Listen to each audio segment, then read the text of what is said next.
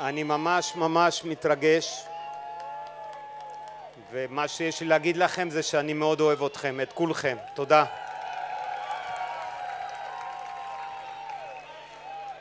איך עושים לעשות ככה?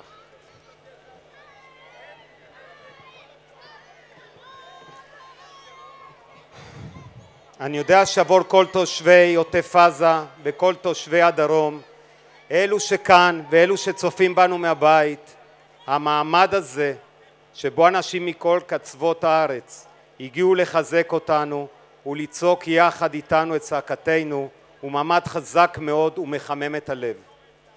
תושבי עוטף עזה הם לא רק אנשים שיורים עליהם קסאמים, אלו אנשים שמאמינים בהתיישבות, בשמירה על גבולות המדינה, בחקלאות ובעיבוד האדמה. גאים לספק ירקות וחלב לכל תושבי המדינה ורואים בכך משימה לאומית ולא רק פרנסה. אני מאמין בלב שלם שכל מי שהגיע לכאן הערב הגיע כי אכפת לו מהמדינה שלנו. לא סתם בחרנו לקרוא לערב הזה הפגנת סולידריות. בשנים האחרונות התרחקנו יותר ויותר אחד מהשני. המדינה שלנו הפכה לאוסף של קבוצות.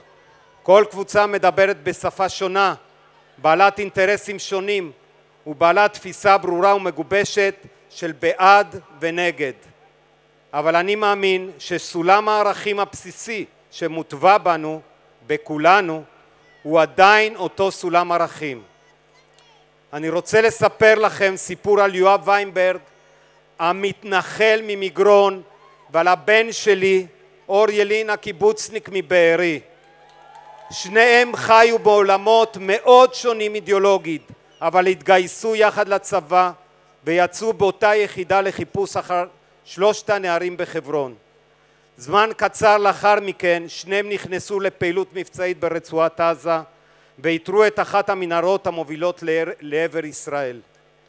שניהם גם נפצעו יחד במסגרת אותה פעילות צבאית. הערכים לאהבת הארץ שעליהם שניהם התחנכו חזקים יותר מכל אידיאולוגיה. שניהם היו מוכנים להקריב את חייהם למען המדינה שלנו ולמען ביטחון התושבים. במקום שבו הפוליטיקה והמפלגתיות מפרידה בין אנשים, המציאות החזקה בה אנו חיים מחברת ביניהם ויוצרת קשרים חדשים.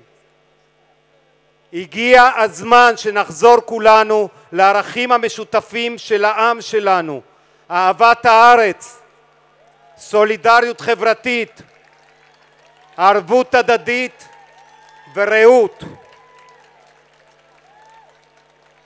מדינה ריבונית חייבת להגן על ביטחונם של תושביה, גם אלו החיים בפריפריה. גם אם אנחנו מעטים ולא מהווים מנדט פוליטי עבור אף מפלגה. מדינה לא יכולה לאפשר לטרור לשבש שוב ושוב ושוב את שגרי חיי תושביה. היום אנחנו עומדים כאן ביחד ואומרים לא עוד.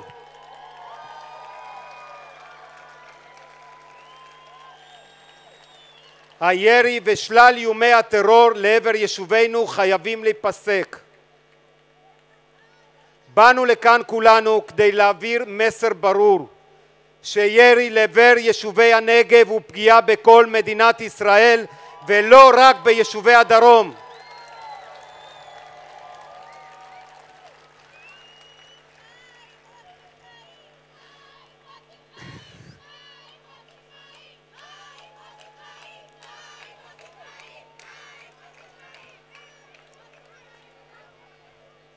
אני נותן לכם את כל החיים שאני יכול לתת לכם.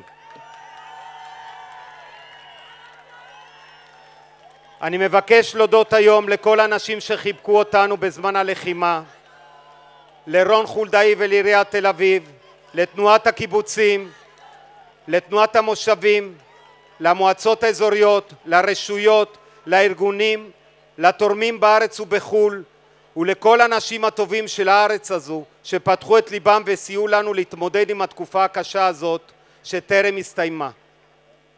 ותודה אחרונה וחשובה לכל חיילי צבא הגנה לישראל, הילדים של כולנו.